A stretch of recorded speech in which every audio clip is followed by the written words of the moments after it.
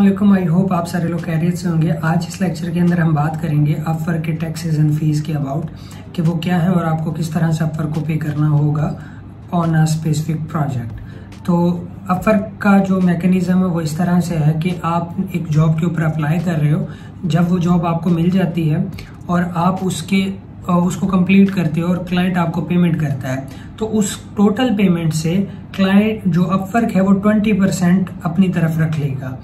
मतलब वो अपवर्क की फ़ी हो गई। तो लेट सपोज़ आपने एक क्लाइंट से हंड्रेड डॉलर कमाए तो आपको टोटल एटी डॉलर मिलेंगे। आपके नेट आपके अकाउंट के अंदर जो कि विड्रॉएबल होंगे। ट्वेंटी परसेंट अपवर्क चार्ज करता है। यहाँ पे एक और केस है कि अगर आप एक क्लाइंट के साथ काम कर रहे हैं और उसके साथ आपने आ, जो है 500 डॉलर से ज़्यादा का काम किया है तो फ़र्स्ट 500 डॉलर के ऊपर आपको 20 परसेंट अपर को देना पड़ेगा और 500 के बाद जो आपने बिज़नेस किया लेट्स सपोज़ आपने टोटल थाउज़ेंड डॉलर का काम किया तो 500 डॉलर के ऊपर आपसे अपर 20 परसेंट चार्ज करेगा और 500 से ऊपर वाले डॉलर जितने भी हैं, उन पे आप जो अपवर्क है, वो 20 पर सॉरी टेन परसेंट चार्ज करेगा।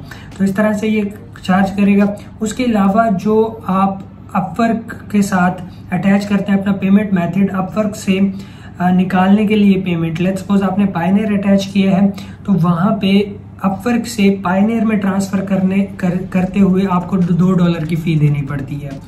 राइट और फिर अपवर्क से सॉरी पाइनियर से आप विड्रॉ करवा लेते हैं अपने बैंक के अंदर। और अगर डायरेक्टली आपने बैंक ट्रांसफ़र करना है अपवर्क से तो 0.99 डॉलर आपको पे करना पड़ेगा। तो ये कुछ फीसिस थी जो कि अपवर्क पे हमें देनी पड़ सकती हैं। ये बेसिक फीसिस थी, इसके अलावा और काफ़ी सारे एंटरप्राइज क्लाइंट्स और बाकी सारी चीज़ें हैं जो कि एजेंसी के उसके अंदर आ जाते हैं, उनको हम अभी डिस्कस नहीं करेंगे। क्योंकि ये कोर्स सिर्फ़ बिगनर्स और इंटरमीडिएट लोगों के लिए है। तो आई होप आपको समझ आई होगी। मिलते हैं इंशाल्लाह नेक्स्ट लेक्चर के अंदर। टिल की प्लानिंग कीप एक्सप्लोरिंग अल्लाह हाफिज़।